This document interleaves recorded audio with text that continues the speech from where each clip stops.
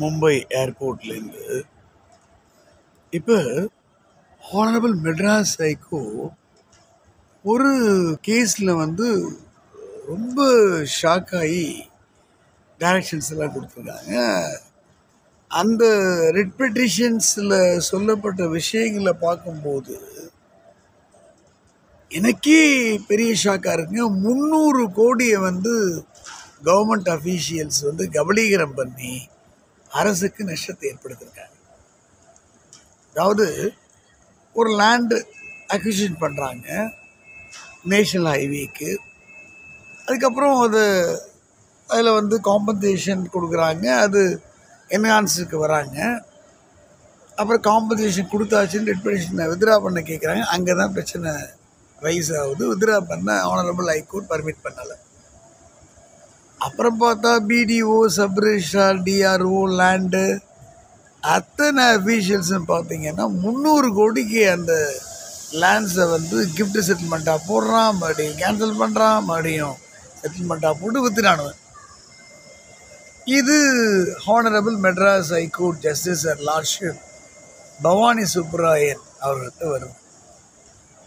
Her lordship honourable Bhavani Subbarayan call out பண்ணியிருக்காங்க கம்ப்ளீட்டாக அதை இன்வெஸ்டிகேஷன் பண்ணி பெயின் அண்ட் ஸ்டெயின் எடுத்து.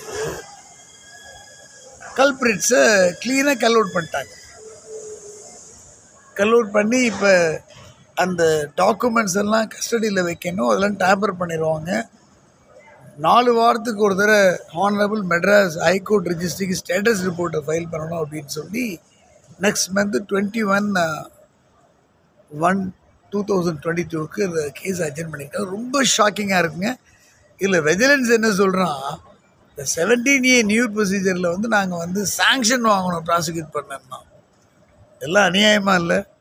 இம்மீடியட்டாக honourable lordship missus justice Bhavani Subbarayan ஜட்ஜ்மெண்ட்டை மதித்து ப்ராசிக்யூஷனுக்கு சாங்ஷனை வாங்கி கல்பிரிட்ஸ் அத்தனை அந்த இன்வால்வ் ஆன கவர்மெண்ட்ஸ் அயோக்கிய அரசு அதிகாரிகள் பிடிஓ சப்ரேஷா டிஆர்ஓ அத்தனை பேர் மேலேயும் பிசி ஆக்டில் கேஸை ரிஜிஸ்டர் பண்ணணும். இல்லை இந்த வழக்கில் பார்த்தீங்கன்னா எஸ்பி அப்பீராக இருக்காங்க காஞ்சி இது இன்ஸ்பெக்டர்ஸ் மெனி ரிசர்ச் பண்ணி இந்த கேஸை வந்து இந்த அளவு கொண்டு வந்து அரசுக்கு முந்நூறு கோடி வருமான இழப்பு பப்ளிக் எக்ஸ்டர்க்கு வந்து ஏற்படுத்தியிருக்காங்கன்னு ஃபைண்ட் அவுட் பண்ணி ஆக்ஷன் எடுக்கிறதுக்கு டைரக்ஷன் கொடுத்த honourable justice her lordship missus Bhavani Subbarayan அவர்களுக்கு உச்சநீதிமன்ற தமிழ் வழக்கறிஞர்களின் சார்பாக வாழ்த்துக்கள் பாராட்டுதல்